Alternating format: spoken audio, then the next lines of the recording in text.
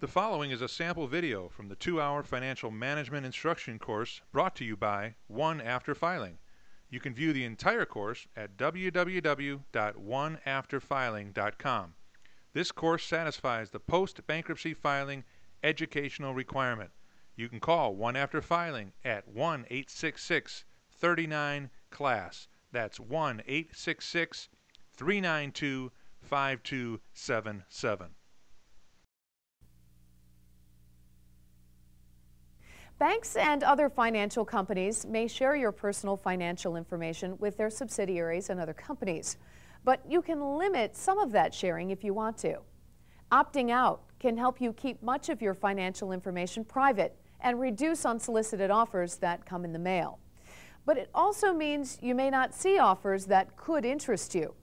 Your financial institutions will send you a privacy notice once a year along with your statement or as a separate mailing. Be sure to read these notices carefully. Get answers to your questions from these companies. If you decide you want to opt out, follow the company's instructions. You may need to call them, return a form, or go online.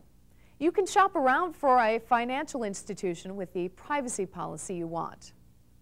The proceeding was a sample video from the two-hour financial management instruction course brought to you by One After Filing.